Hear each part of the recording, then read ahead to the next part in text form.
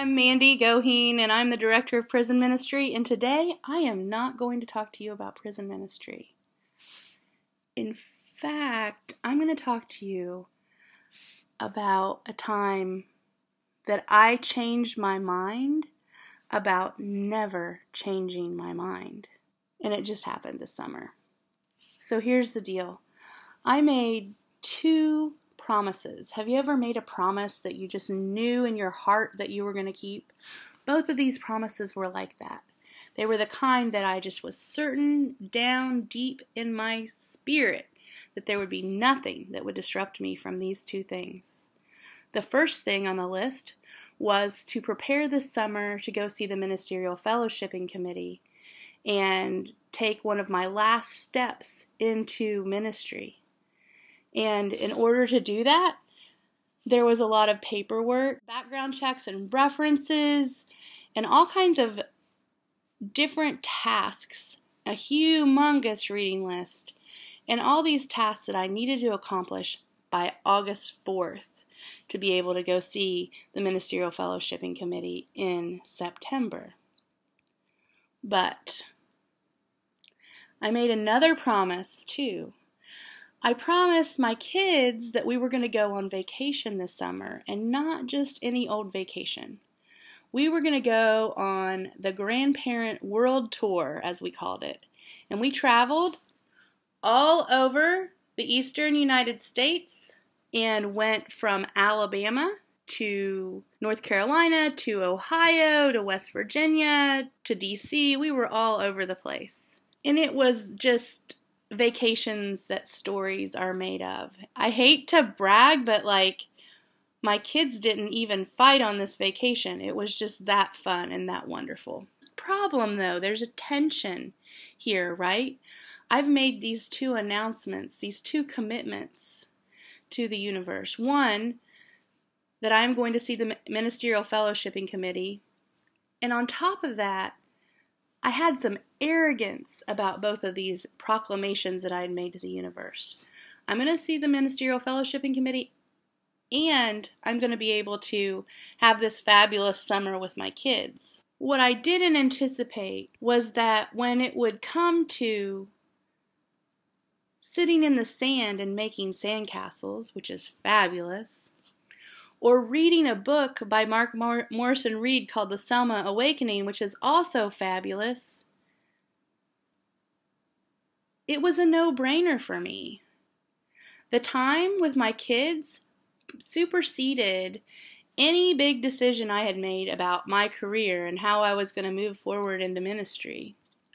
Because in the middle of my theology is this place where God resides, which is in the in the process of relational exchanges. And I was in the most divine situation possible, being with my four youngest kids and just getting to either bait fish hooks, go on a boat ride, or write an essay about why I'm a great minister. And every time it was just not a choice. Relationships took priority every time. Playing took priority every time. By the first three days, I knew I was in the weeds. I knew that I was not going to get ready for the MFC.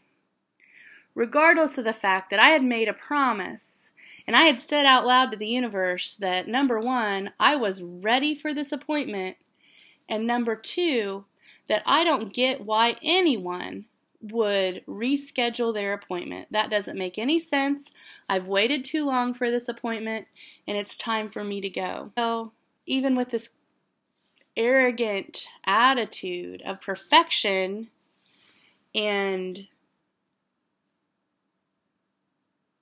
overcompensation and overcommitment, which are all part of systemic white supremacy, right? All that stuff, all that white supremacy culture was just driving me in my head that I needed to still be perfect and complete these two things at the same time. Well, that's just not possible. And then I had to make a choice and I had to make a change. So, what did I learn from all of this, I guess, and what am I trying to tell you, and how can you learn from this change that I've gone through? Well, one of the things I learned is I really need helpers in my life to help me say no. Are you bad at that? Are you bad at saying no when someone asks you for something? Especially like saying no for something that's expected of me. And so I really need people to help me stay on task and be realistic about how much I can get done.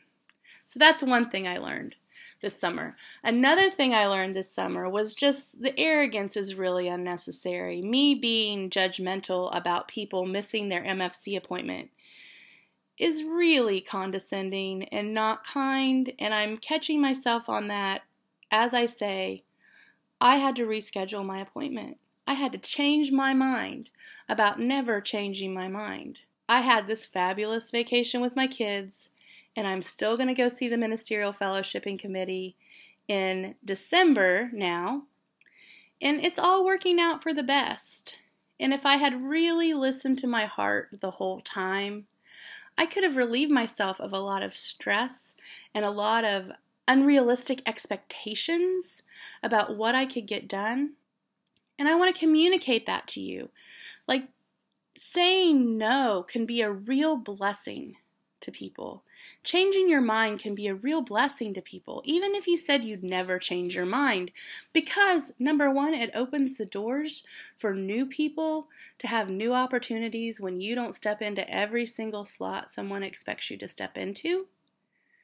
And number two, you have got to take care of yourself, and I have got to take care of myself, and I can't do that in an overcommitted state. That month that I want to spend in July with my kids every summer is sacred time. And it's important, and it doesn't mean I should throw off all my responsibilities, but it means I should set my priorities and be more flexible. Be willing to change when change is necessary, even when I said I would never change my mind.